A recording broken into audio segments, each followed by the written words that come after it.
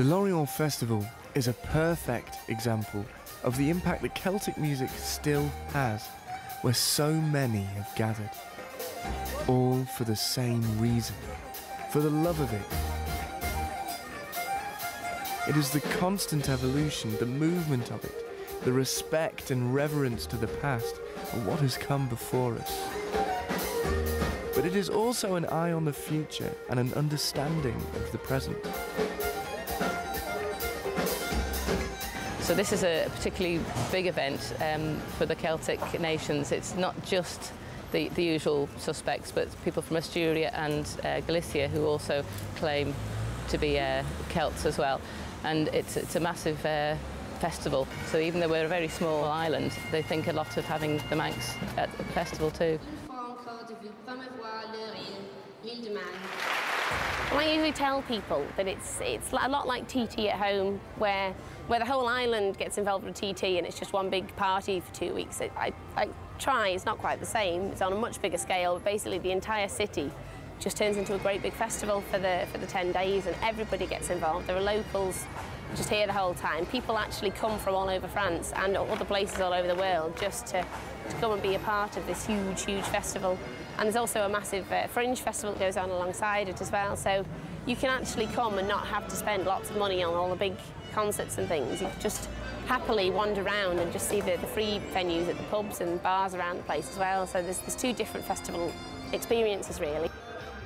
So lots of people that come, they come and stay, they listen to the music, they stop and have a pint of, uh, of the, the Bushy's and they uh, have a go at the, the queenies, which they love, and the um, cheese.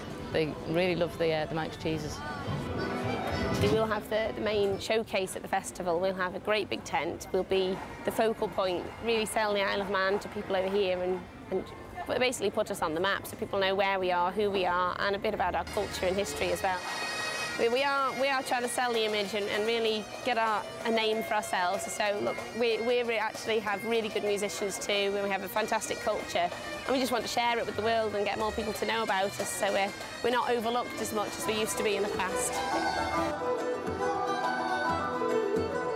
I think the important thing is that when you come to a festival like this, um, you do mix with other, other groups. And I think from, from a point of view, being one of the older members of the group and one of the leaders in the group, that our younger members have to see different styles of dance. And I think when we live at home, we get very used to Manx dancing, but when we're, we're away, they actually can see how the other different Celtic nations um, do dance, and they can see the similarities and realise that actually they're part of a bigger thing. The Isle of Man, um, we're very good at what we do, dance-wise and culture-wise, um, but we tend to know everybody involved in the culture. When we come away here, they can experience a breadth of culture from, from all the Celtic nations and really be inspired. And I think that's what's happened with, the, with the two ladies here with me today, but also the rest of the group that just to be inspired to actually continue in the culture, um, but really take it on to a, new level of really trying to push the boundaries forward. And, um, and that's come from, from only being at festivals such as Lorient. It's really important. I'd just like to say that it's really good for us to be in Lorient. We love Lorient and we, we love coming here.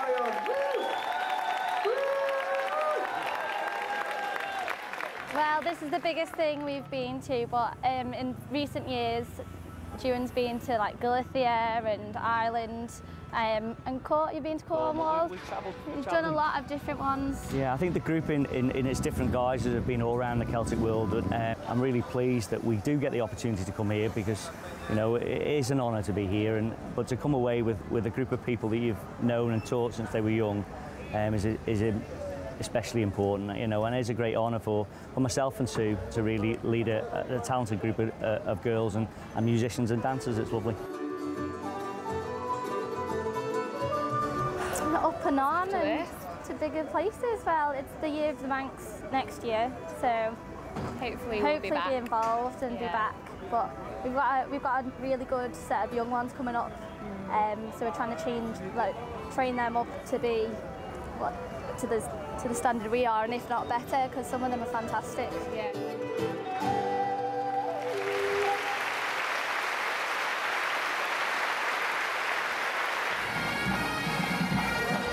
Uh, it's a lot bigger than I expected. Um, a lot of people have been telling me about it, but I genuinely think you have to come to fully understand it. Um, And just walking around, it's the energy, the, the, the whole eclectic mix of so many different nations that have come together with a common theme and it's fantastic. It's, I've never been to anything like this. They're drinking Manx beer, they're eating Manx food, they're listening to incredible Manx music, and it, it just it fills you with pride. And it's also put an amazing perspective on this whole journey, really, for me, to see all of the Celtic music really in one place and, and to wander between tents and to hear the differences, the very obvious differences, and also, perhaps more interesting, the, the common thread between them all. I think it's a fantastic show of Celtic nations and how they all have something in common. I don't think one one Celtic nation couldn't do this on their own, even the big ones like Ireland and Scotland.